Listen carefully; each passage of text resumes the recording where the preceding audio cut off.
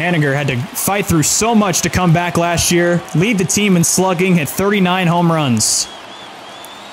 2 2 pitch coming from Chafin. This one line! Base hit into right center field! Ty France is gonna tie the game! It's Suarez who's gonna come around third! They're gonna try and score! And he's safe! Safe! Suarez scores! Haniger has won the ball game! Can you believe it?